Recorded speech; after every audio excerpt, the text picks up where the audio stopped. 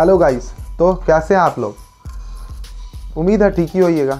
चलिए तो स्टार्ट करते हैं फंडामेंटल ऑफ़ पार्टनरशिप तो देखिए, आज हम लोग को इसमें पढ़ना है मीनिंग फीचर्स और लाइबिलिटीज़ ऑफ़ पार्टनर और पार्टनरशिप डीड तो यही आज चार टॉपिक आज हम लोग कवर करेंगे इस वीडियो में और इसी के साथ चलिए शुरू करते हैं।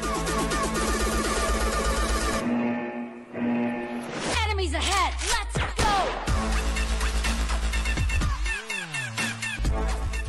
तो गाइज़ चलिए देखते हैं पार्टनरशिप है क्या। थोड़ा आसान भाषा में देखते हैं, थोड़ा घरेलू भाषा में। तो मान लीजिए कि किसी फ्रेंड के यहाँ दावत में हम लोग को जाना है, मुर्गा तोड़ने के लिए। तो चलते हैं उस फ्रेंड के यहाँ तो फिर जाएँगे किस चीज़ से? बाइक से जाएँगे। बाइक में पेट्रोल लगेगा और पेट्रोल फिर डालेगा कौन? मान लीजिए आपका बाइक है तो पेट्रोल तो मैं ही डलाऊँगा। तो दोनों दोस्त मिलके क्या करते हैं आप बाइक निकालिए और मैं पेट्रोल निकालता हूँ। दोनों आदमी डालते हैं उसमें और फिर जाते हैं। और जाएँगे तो जाने के साथ वहाँ पे क्या फ़ायदा होगा? कि हम लोग को मुर्गा तोड़ने को मिलेगा। अब मुर्गा जो तोड़ने को मिलेगा तो फिर वहाँ से आना भी है। अब इस ठंडी में जाना और आना दोनों एक एक आदमी तो कर नहीं सकता है। तो आप जाते वक्त ले जाइएगा बाइक और आते वक्त मैं ले जाऊँगा। तो ये जो पूरा होल ट्रांजेक्शन जो हुआ आपका बाइक लेना, मेरा पेट्रोल डालना, फिर आपका लेके जाना, फिर वहाँ खाना और फिर वहाँ से आना, यही पूरा प्रोसेस है पार्टनरशिप अब इसमें देखिए थोड़ा सा समझते हैं आप इसको अकाउंट के भाषा में, है क्या? जो आप बाइक निकाले, वो एक तरीके से हम लोग का इन्वेस्टमेंट है। मैं भी जो पेट्रोल डाला, वो भी मेरा इन्वेस्टमेंट है। और साथ में जो वहाँ पे हम लोग मुर्गा तोड़े, वो हम लोग का प्रॉफिट है। और साथ में जब हम फिर आप जो लेके गए थे, वो भी एक तरीके का इन्वेस्टमेंट है, वो आपका मेहनत है, और मैं जो वहाँ से लेके आया, वो भी मेरा मेहनत है। तो सेम ऐसे ही होता है पार्टनरशिप फर्म में। तो पार्टनरशिप फर्म में क्या होता है? दो या चार या दस या उससे ज़्यादा कुछ पार्टनर्स मिल करके हम लोग एक बिज़नेस स्टार्ट करते हैं। और बिज़नेस स्टार्ट करने के बाद उस बिज़नेस को मेहनत करते हैं उस बिज़नेस के पीछे, और बिज़नेस को एक मुकाम पे ले जाते हैं। और जब मुकाम पे ले जाते हैं तो उससे क्या फ़ायदा होगा? प्रॉफिट प्रॉफिट होगा। उस प्रॉफिट को हम जितने पार्टनर हैं, वो सारे के सारे बांट लेते हैं और बांट लेते हैं और फिर उसके बाद खुशी खुशी रहते हैं। तो बस, यही है पार्टनरशिप इसी को पूरे, इसी को हम लोग को स्टडी करना है इस पार्टनरशिप अकाउंटिंग में। तो चलिए, थोड़ा सा बुक लैंग्वेज में देख लेते हैं, आखिर है क्या? बुक भी तो पढ़ना थोड़ा बहुत ज़रूरी है। तो देखिए according to partnership act 1932 partnership act 1932 में हुआ था, बना था पार्टनरशिप एक्ट 1932 जिसके अकॉर्डिंग पार्टनर पार्टनरशिप का डिफिनीशन है, अ रिलेशनशिप बिटवीन टू और मोर पर्सन जैसा मैंने कहा था, दो या दो से अधिक who have agreed to share profit of a business मान लीजिए एक बिज़नेस है तो उस बिज़नेस का जो प्रॉफिट होगा, वो तो हम लोग सब शेयर करेंगे। कैरीड बाय ऑल और any one of them acting for all मतलब कि या तो वो एक आदमी चलाए, या तो सारा का सारा चलाए। लेकिन उसमें जो प्रॉफिट होगा main cheese profit profit of the business profit को हम लोग शेयर करेंगे। तो बस यही प्रॉफिट को जो शेयर करने का तरीका है, यही है पार्टनरशिप और इसी तरीके को, इसी पूरे होल को हम लोग पार्टनरशिप अकाउंटिंग से जानते हैं। तो चलिए आप देखते हैं थोड़ा सा। फीचर्स ऑफ़ पार्टनरशिप तो देखिए फीचर्स जो डिफिनीशन है, वही को कुछ पॉइंट काट के हमने फीचर्स में डाला है। देखिए टू और more than two owner same वही चीज़, वहाँ पे जो लिखा हुआ था डिफिनीशन में, दो या दो से अधिक ओनर होंगे। मतलब दो या दो से अधिक ओनर या पार्टनर भी बोल सकते हैं। पार्टनर्स और दूसरा एग्जिस्टिंग ऑफ़ बिज़नेस लॉफुल देखिए मतलब सबसे पहली बात है पार्टनरशिप होने के लिए एक बिज़नेस तो होना होगा। अब जैसे कि जो मैंने बताया था कि हम दोनों चलेंगे दावत में मुर्गा तोड़ने के लिए तो एक तो गोल था ना कि मुर्गा तोड़ना है तो बस, और जाना है। कहाँ जाना है? तो दावत में। तो बस एग्जिस्टेंस ऑफ़ बिज़नेस तो वही बिज़नेस होना बहुत ही ज़रूरी है। और देखिए लॉफुल अब ये नहीं है कि गन का स्मगलिंग करने के लिए बिज़नेस कर लेंगे तो हो जाएगा बिज़नेस नहीं, वो इलीगल हो जाएगा। अगर हम किसी भी, अब जैसे बिहार में दारू बंद है, अब दारू का बिज़नेस अगर करने के लिए हम लोग पार्टनरशिप करेंगे तो थोड़े होगा, नहीं ना होगा। तो अनलॉफुल होना बहुत ही ज़रूरी है। इसलिए मैंने यहाँ पे लिखा है एग्जिस्टेंस ऑफ़ बिज़नेस और लॉफुल और तीसरा carrying of business by all और any one of them acting for all मतलब वहाँ पे लिखा हुआ था ना या तो कोई एक एक चलाए सबके एवज में या फिर सारे के सारे चलाए। तो बस यही है तीसरा। और फोर्थ देखिए। फोर्थ में क्या है? Sharing of profit and loss सबसे पहले देखिए जैसे कि अ, हम दोनों जब गए थे अ, दावत में जब जा रहे थे तो उसमें कुछ लॉस हुए थे जैसे कि बाइक का डिप्रिसिएशन और पेट्रोल तो लॉस को भी हमने बांटा। और प्रॉफिट जो हुआ वहाँ पे जो हम लोग खाए, मुर्गा तोड़े, वो भी हमने बांटा। तो वही है sharing of profit and loss और देखिए last but not the least unlimited liability अब ये अनलिमिटेड लाइबिलिटी क्या है? देखिए, जब भी कभी भी पार्टनरशिप होते हैं तो उसमें लाइबिलिटी अनलिमिटेड होते हैं। कि इसलिए होते हैं क्योंकि देखिए पार्टनर्स जो भी हैं, जब भी पार्टनरशिप फॉर्म चलता है, अगर खुदा ना खास्ता वो अगर पार्टनरशिप फॉर्म लॉस में हो गया। तो जितना भी लॉस हुआ है अभी तक का, जितना भी लाइबिलिटी बचा हुआ है, सारा का सारा लाइबिलिटी सारे पार्टनर में उसके कैपिटल के हिसाब से सब जाएगा। तो इसीलिए हमने यहाँ पे लिखा है अनलिमिटेड लाइबिलिटी क्योंकि पार्टनरशिप फॉर्म में लाइबिलिटी अनलिमिटेड है। इसीलिए ये पॉइंट मस्ट है अनलिमिटेड लाइबिलिटी चलिए, देख लेते हैं थोड़ा third topic liability of partnership तो देखिए लाइबिलिटी क्या होता है? मेन मेरे अकॉर्डिंग तीन ही मेन लाइबिलिटी है पार्टनर के। पहला कि पार्टनर अगर कभी भी बिज़नेस फॉर्म का सेम बिज़नेस अगर कर लेता है outside of the firm example के तौर पे अ, इस मार्कर का कंपनी पार्टनर हम दोनों हैं। मतलब हम दोनों अ, साथ मिलके एक फॉर्म चला रहे हैं जिसमें ये मार्कर प्रोड्यूस हो रहा है। ठीक है? और सेम सेम बिज़नेस मैं अगर कर लेता हूँ बाहर जाके मतलब कोई और मैं मार्कर ही बना रहा हूँ, ठीक है?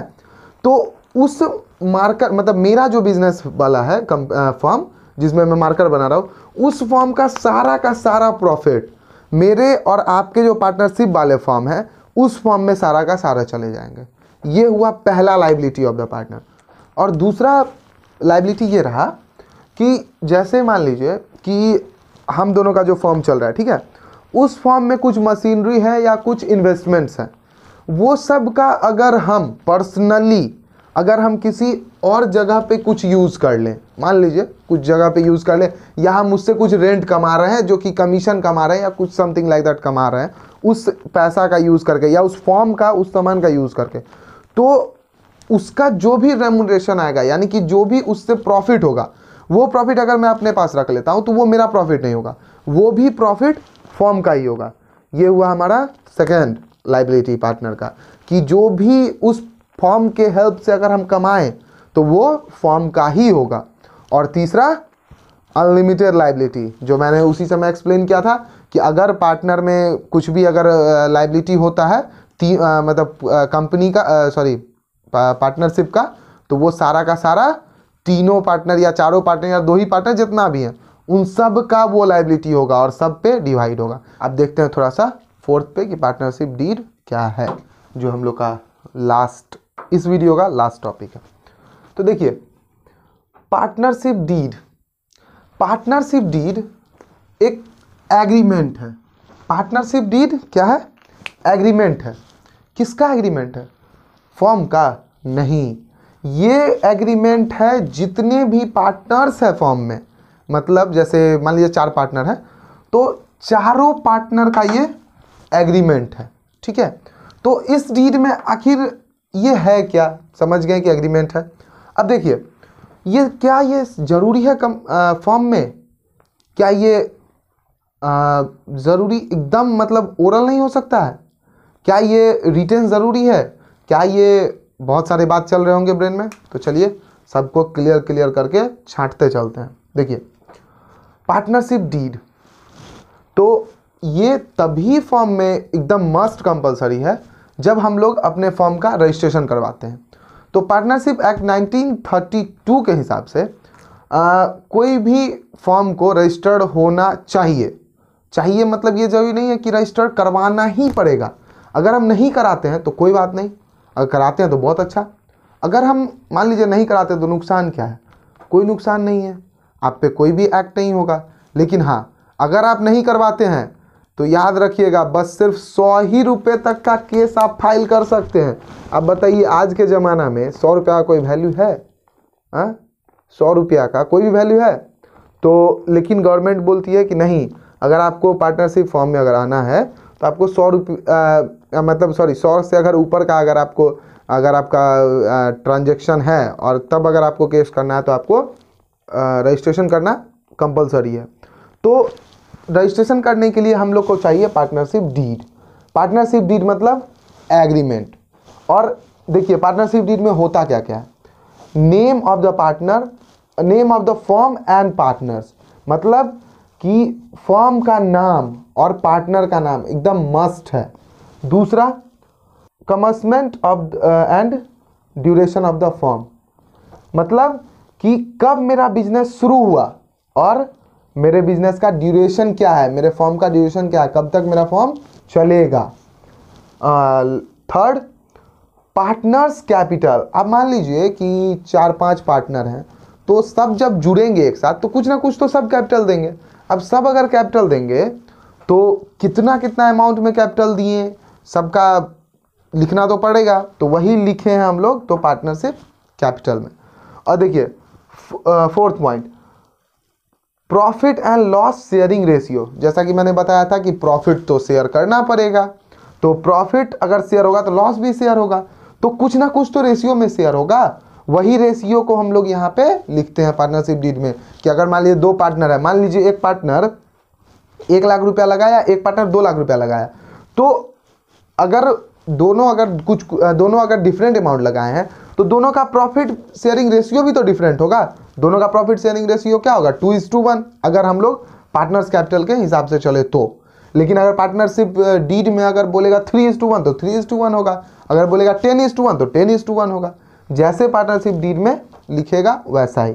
और देखिए fifth rate of interest on drawing capital loan मतलब अगर ड्राइंग पार्टनर निकालता है, या या फिर कैपिटल पे कोई इंटरेस्ट देना है, या फिर लोन पे कोई इंटरेस्ट देना है तो वो सब हम लोग को इसमें मेंशन करना पड़ेगा पार्टनरशिप डीड में। अगर हम पार्टनरशिप डीड बनाते हैं तो।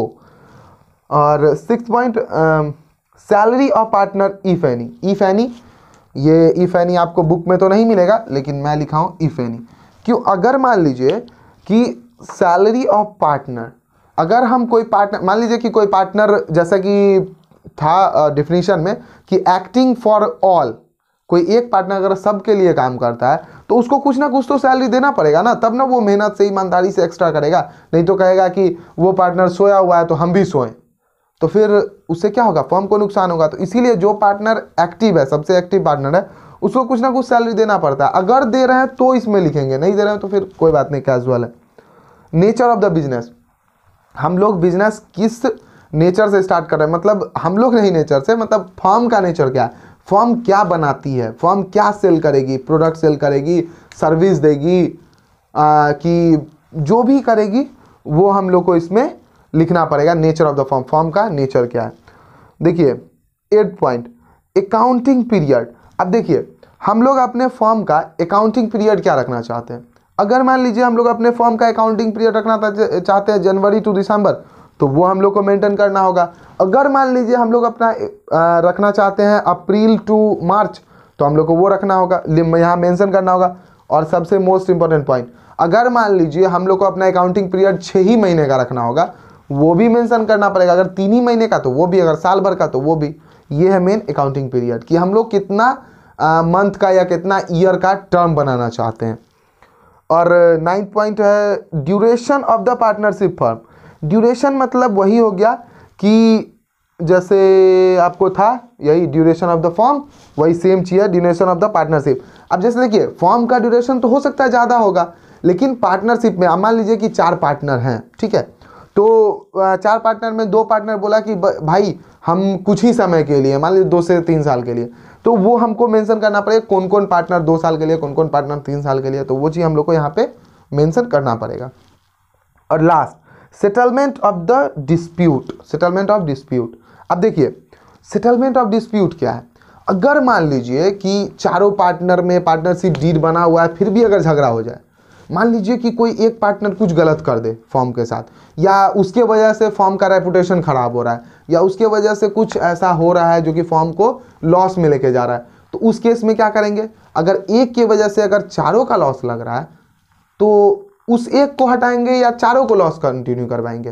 तो स्वाभाविक सी बात है, सब कहेगा कि भैया, हम तो काम कर रहे हैं अच्छा फिर भी हमको प्रॉफिट नहीं मिल रहा, वो नहीं कर रहा है तो आप उसको उसको कुछ बोलिए।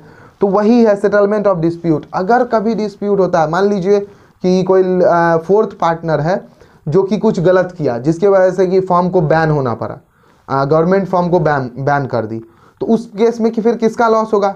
तो फोर्थ पार्टनर का ज़्यादा लॉस होगा।